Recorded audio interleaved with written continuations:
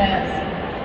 Hi, um, I have a question a bit about your artistic process and was wondering, um, being in an art form that requires um, such physical and emotional commitment, um, how do you, over the years, like how have you balanced keeping that vulnerability and that centeredness at the same time?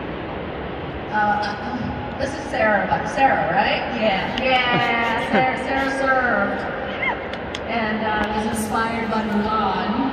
So I got to, that was a real pleasure meeting her today, Sarah. Thank you, Sarah.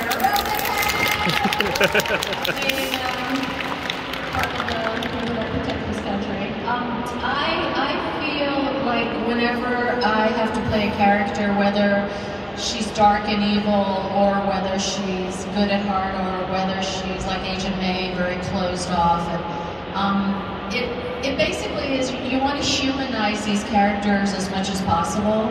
And that's, uh, as, as an actor, as an artist, you have to bring a lot of yourself into the role, and, and that's the only way I know how to bring the truth to a character.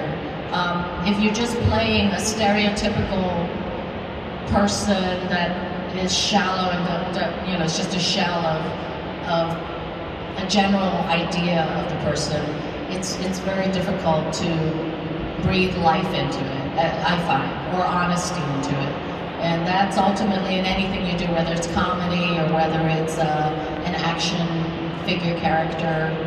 You know, I mean, the hardest one was actually bringing Chun Li to life.